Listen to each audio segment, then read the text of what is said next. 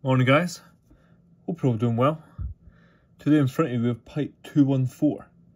Now I'll start off by saying that this is potentially the last available for quite a long time. Um, it really just depends uh, how much I can fit in around work um, in terms of pipe making, um, alongside doing as many commissions as I can.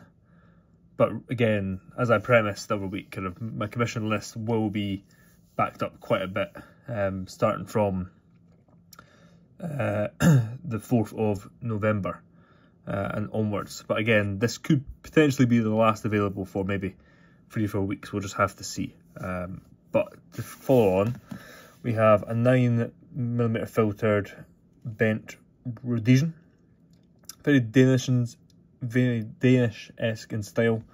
More of a rounded bowl um, instead of maybe having this line a bit more harshly cut.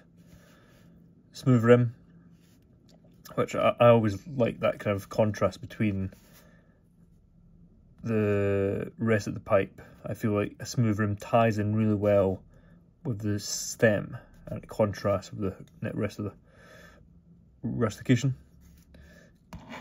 9 millimeter filtered. As you can see, red and black classic Cumberland stem and hopefully you can see two red and black staining. Um, red base coat with kind of a black top coat which is then kind of brushed back to have that kind of red and black contrast staining which I always think a rusticated pipe with a contrast stain does look fantastic.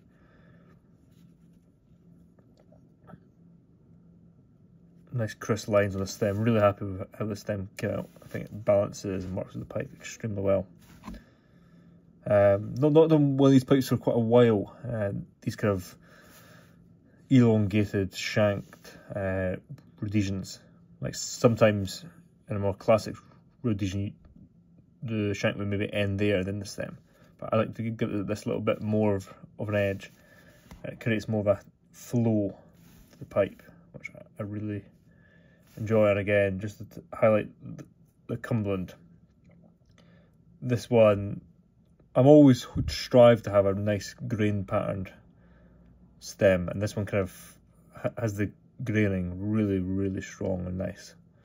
I always like how that presents itself.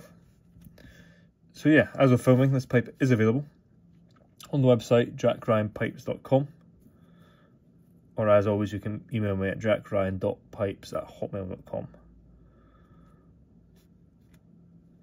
Yeah, really happy with how this pipe turned out. And again, like I said, potentially one of the last ones for a while. I got quite a lot of content coming out in the next couple of days. I've been kind of backed up filming um, and all being well, back to um, a live stream tomorrow even. That being said, hope you guys take care. Have a great rest of your weekend. Cheers.